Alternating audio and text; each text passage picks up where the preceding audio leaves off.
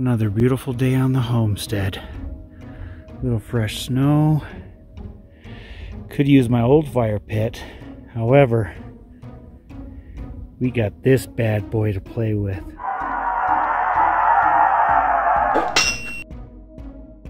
This is the Even Embers pellet heater. Yes, I bought this to see if it would be possible to use this as a heater outside that's easy to use and could it be used in, say, a tiny house? We'll see how big it is when we get it together. Already did the unboxing because it wouldn't fit my car. There we go. Made it for the first few steps. That's how she looks. Yeah, let's get the rest of it put together. Okay, we are assembled. Goes really tall. Okay, let's try it out this going. Supposed to lift this. Close it. Okay. Now it's loaded the hopper. Got it lit and is now officially going through its uh, burn off period before I can turn it on high and see how how good the heat is off this thing. So far I feel a little bit of heat, but not not like a fire pit yet just reached the 15 minute mark and it's ripping and roaring. I am starting to feel a little heat off of it. starting to feel warm where I wouldn't want to touch it. I can feel heat close by. The snow is melting near it. So we'll give it a little bit more. But I can feel the heat off of it now, standing right in front of it. It is 26 degrees outside, 30 minutes in. Definitely feel the warmth off of it now. Yeah. Over here, you can see my breath right in front of it. Oh, no breath at all. And my and my my jeans are hot to the touch. Oh yeah. And it's 23 degrees out. Now this is cool.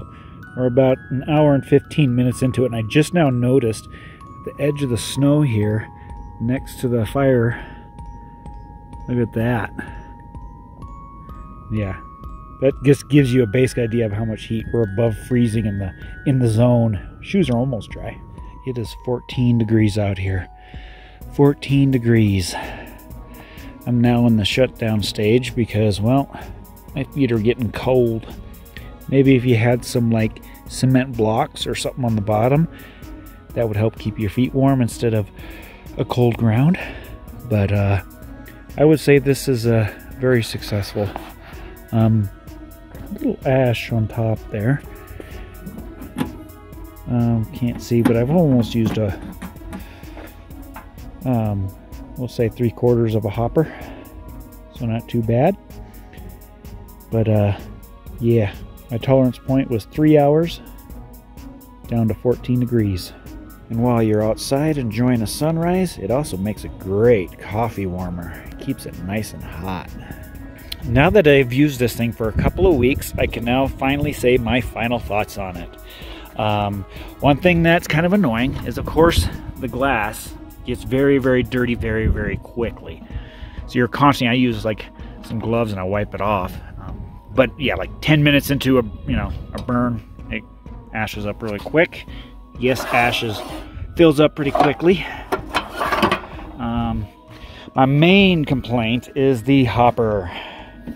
And I saw other reviews um, complaining about this as well. The hopper sometimes gets stuck. So what I have to do is take this, lift it all the way up, and put this rock under it to make it function properly. It's like there needs to be uh, some type of adjustment there. And then the other second part about the hopper is this. It's a pain in the butt to open. If I kept having to open it to adjust the pellets or add pellets, it could really use some type of knob or something here. So I might modify that into it. Um, after about a week, this gets really, really clogged up. Uh, so I use a barbecue, metal barbecue brush to clean it out, like that.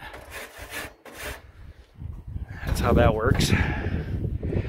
Other than that, um, I finally read the uh, instructions and it's clearly stated do not install in RVs and do not install indoors. However, if you're smart and clever and safe, you might be able to do some modifications to make something work. So, Um, I'm probably going to end up using it in the outdoor kitchen when it gets built because it's you know it's an outdoor kitchen, plenty of ventilation in here. Just follow the uh, instructions of 36 inches of clearance, and I think it's going to be be just fine. So there you go, the Even Embers wood pellet heater. I love the sound of wind chimes. A little breezy today. Hopefully I can try to talk. But it's time for a bit of an update. Um, there's some things I want to talk about, and I know some people were kind of curious over here as to if the uh, carport um, roof has ever been done, but it is now. My neighbor came over and saw me working on it, and I'm like, "You want to make a hundred bucks? We got it done in about two hours." There she is, all ready to go, all roofed. Excited to get some rain capturing off that bad boy. Um, well, there's going to be some changes. This is probably the biggest update ever. Um, my job that I was working at was just too many hours, too long of a days, and it was wearing me down to the point where I was I'm not getting anything done on my homestead and building and doing things. So I made the decision last week. It's time to quit the job. Um, so that way my wife's not like, hey, you go you, you go to work in the morning, stay out for sometimes 12 hours, 14 hours, and uh, come home, you just eat and sleep. And it started doing this over and over and over, kept kept wearing me down. And uh, then on Saturday, I'd go and do all the uh, off-grid chores. So by the time Sunday comes, a day I could actually do something on the homestead, I'm beat. I need to I need to rest. You know what I mean? You know, I got I want to fix up this chicken coop because it's looking a little rough from the winter. Um, so there's that. And um, for for my future career, I am actually gonna follow my dream as a music composer. Um, uh, there will be more about this in the next video. I'm going to start a new series on this channel. Still stick with the homestead stuff and our projects around here, but I'm going to focus on a series about becoming your an entrepreneur from start. Um, I've always wanted to do this, but I've always like, oh, I'll do it on the weekends. I'll do it on uh, after work, but work just keeps getting in the way. And next thing you know, years go by. So I'm pulling the trigger on that. Um, I'm just going to pull, go full force and just do it and see where this goes. I'll document the whole process as well. So um, that will be the new series. But yeah, it's time for a change in my life because I'm sitting there being work, work, work, work, work. And we moved here to slow down, to not be able to have to work, work, work, work, work. And that's, I, I end up doing the same thing I was doing before we moved here. And it's like, okay, what what was the reason we got here?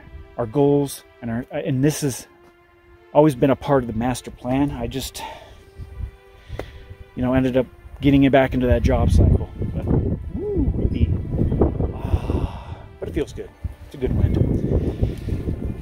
So there you go, folks.